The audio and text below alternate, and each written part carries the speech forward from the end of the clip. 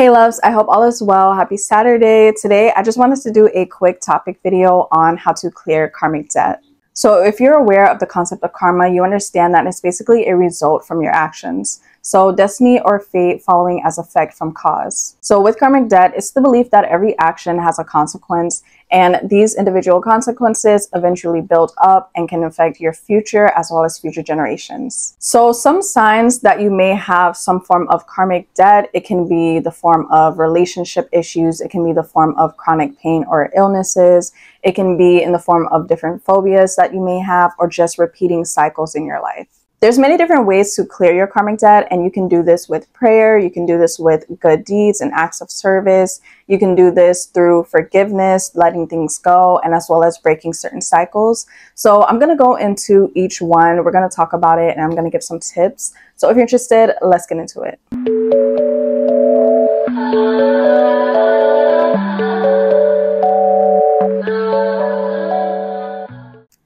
Hi loves, welcome back to my channel and welcome if you are new. Thanks so much for joining me. My name is Tyla and today's topic is a juicy one and I've been waiting to do this video. So today is all about clearing your karmic debt. Now, if you have never heard this term, I'm really going to put you guys on today because I do believe that this video can benefit a lot of people that will come across it.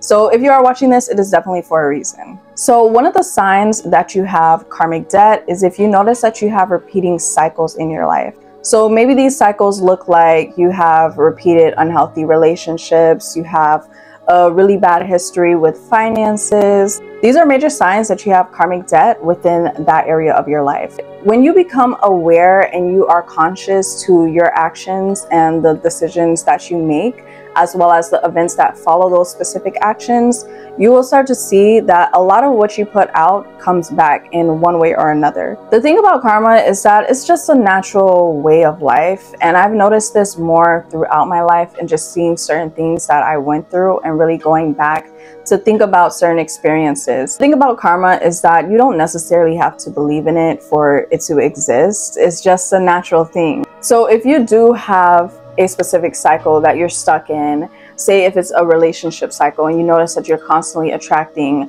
negative partners or you're constantly attracting people in which you do not resonate with, you may have some form of karmic debt within that area of your life. Now, to get really, really deep with it, not everybody's going to believe in this concept as well, but I'm just putting it out there. Say if you've had a past life and in that past life you have built up a lot of karmic debt, maybe you did a lot of negative deeds or you just had a lot of situations to where you accumulated a lot of karma. That karma can sometimes pass on into the next life, causing you to experience certain things and have a certain amount of bad luck or just negative circumstances to happen to you. That's why it's so important to try and overcome the negative patterns that you see in your life so that you can actually move on emotionally and spiritually and elevate. Another thing is unexplainable phobias or just phobias in general. You may notice that you have a very strong phobia. For me, for example, mine include like heights. It includes like throwing up. I, that grosses me out. but yeah, like those are kind of like my phobias. I do have kind of like a phobia of spiders. I cannot do spiders. But the idea is that some of your phobias may actually have stemmed from past lives. So say if you do have an extreme fear of water or the ocean, you may have like drowned. It's something in a past life. That's just another little concept to throw out there. You do not have to believe in that, but I'm just throwing it out there. Another one is chronic pain and illness. Now, when it comes to chronic pain and illnesses, sometimes this is the tricky one because there usually is a underlying cause, but in some cases, there are unexplainable illnesses or chronic pains that some people have that are unexplainable by medical science. Now, the last sign is a lack of fulfillment so say if you're just a person that just is never fulfilled, you don't feel like you have a purpose, you just feel soulless, or you feel as though nothing goes your way, you just don't feel good about life or yourself. You don't really have a lot of energy or just drive towards anything, that can be a major sign as well that you may have karmic debt. Now let's get into the signs so that we can overcome this karmic debt. Now, something that I've noticed is that ever since I have started working on myself, started healing and started overcoming my trauma and just overall just doing everything that I can to be my best self and put that energy out as well, things go a lot differently for me in my life. And that's not to say that I was ever a bad person, but you know, we all make mistakes and we all have times where we make bad decisions and we just do things that are reckless and we don't really think before we act at times.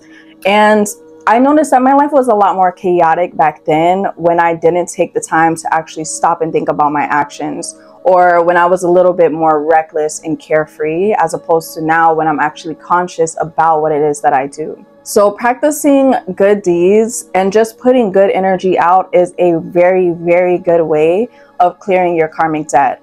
A lot of people go out in the world and they put their insecurities, their doubts, their anger and frustration onto other people, not understanding that it's still coming back to them. And even if that may make them feel good in the moment, is going to come back around in one way or another. So making sure that you're just being a kind person, that you're being good to people, that you are doing the right thing and you are not getting yourself in compromising positions to accumulate something negative to happen towards you or to do something negative to somebody else.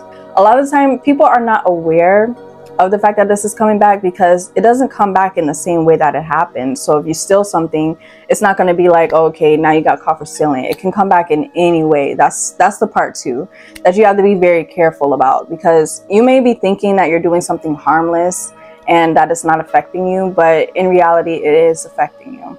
Practice different ways for you to be grounded enough so that you don't have to put your trauma and your negative energy onto somebody else. Now, the next tip for clearing karmic debt is forgiveness.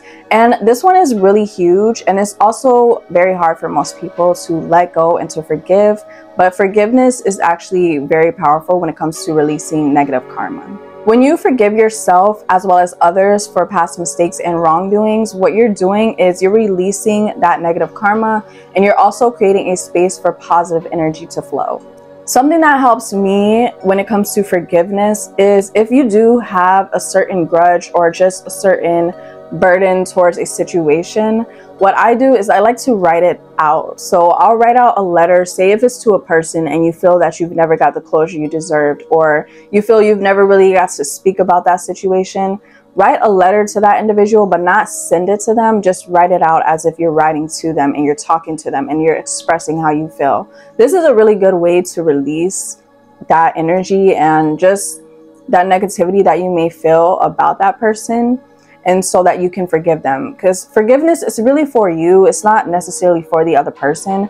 So you're not doing it so that you can make them feel good and that it's like oh, okay you did this to me but i forgive you so i'm gonna let you back in my life. That's not what forgiveness is. You can forgive somebody without accepting them back in your life and without being cool with them without having them within your energy and your auric field, especially when something is done because you can't necessarily take it back. But what you can do is show yourself grace and allow yourself to let go of the situation and understand that it happened.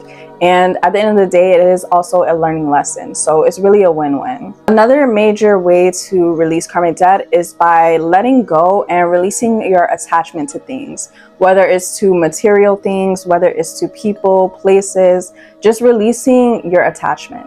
When you detach from certain things, it does allow you to grow spiritually and not focus so much on the material world or just anything else that does not suit you and your highest good. Now, last but not least, another tip to clear karmic debt is by practicing mindfulness. So, making sure that you're mindful about the way that you think, the way that you move, your actions, like I was speaking earlier, and just practicing being in the present moment more often. What trauma does is that sometimes it can blur your vision and it can make you unaware to certain things that you do, especially if you're so stuck within that trauma and it's all that you've ever known and you grew up a specific way. You don't always understand and see your actions from a higher perspective, especially being stuck in that habit for so long. That's why healing is so crucial because when you start healing, you start understanding things from a higher perspective. You start looking at certain habits that you have and certain ways that you are in a different light. And sometimes that allows you to see certain things about yourself that you may not have seen before, certain things that you may come to realize are actually negative and harmful to you or to other people that you maybe didn't understand why it was harmful or how it was harmful. Something that I see often that people say and do a lot is that they'll say things like, oh, I like to get my get back, or oh, I don't like being the bigger person when in reality, you're just hurting yourself. Even if somebody does something negative to you and it affects you negatively, and it can be in the worst way possible, I understand how bad that hurts and how much you would want to seek revenge and lash out or do something back to that individual, but it's just gonna come back to you. And once I started becoming more aware of this and I actually had to snap out of it and look at myself, I understood that, okay, half of the things that I go through is because of my actions. And even when I felt justified in a specific situation, my actions still were negative. So it still brought me something negative in return. Even if you do feel like you're justified, even if somebody does do something to you and you feel like it was very wrong, that doesn't mean to go out and do something wrong back to them. Now, if you want to, that's your prerogative, but that's not going to bring anything good for you. To be honest, when you actually let go in those situations and you move on and you just keep doing you, not only do you get more blessed because you're not stooping to their level, you're staying on your vibration and you're keeping up with what you're doing and you're leaving that to God, to whoever you believe in.